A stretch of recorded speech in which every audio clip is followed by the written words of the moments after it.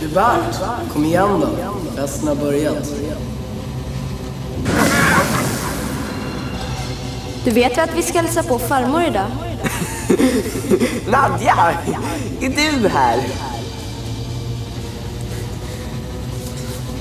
Jag är ledsen killar.